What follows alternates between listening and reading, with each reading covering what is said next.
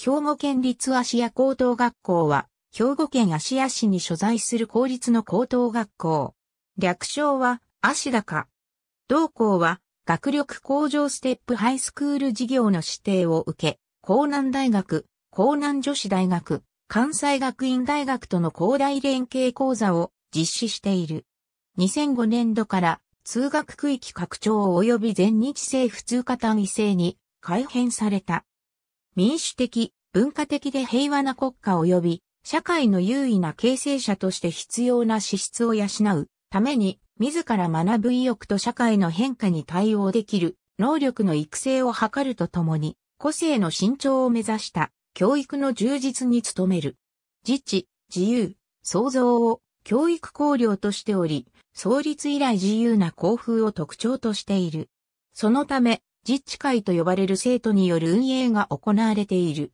また、標準服は指定しているものの、制服は指定されておらず、服装も生徒の自主性に委ねている。同校の前身は1940年に設立された旧制兵庫県立芦屋中学校。最近では学区再編や単位制への改編があった。運動部16、文化部15がある。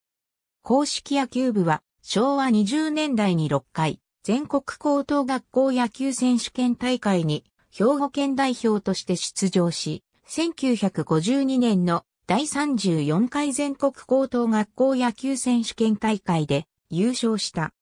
1997年のナホトカ号重油流出事故の際には、ボランティア部の生徒を中心に100名以上の生徒が北陸の海岸で原油回収作業に当たった。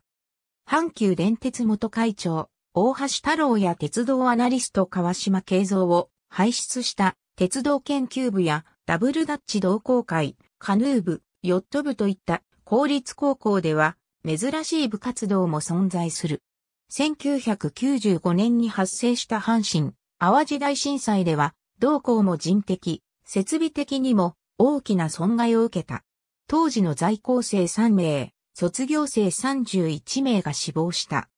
校舎は中立、南館が使用不能となり、約2年4ヶ月にわたり、仮設校舎で授業を行った。ありがとうございます。